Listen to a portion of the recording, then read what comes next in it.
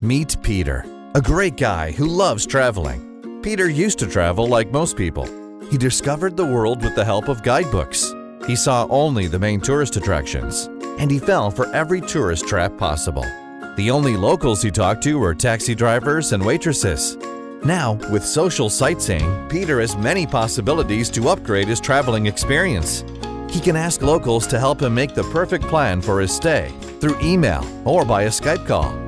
Or he can meet a local and have coffee or beer together, and he can find out what's really worth seeing and what's not. But the best part is that he can find a local companion for walks, jogging, or bike tours to discover the hidden gems of the area.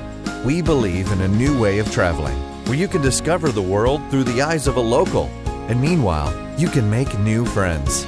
Be part of the movement. Join right now. It only takes a minute.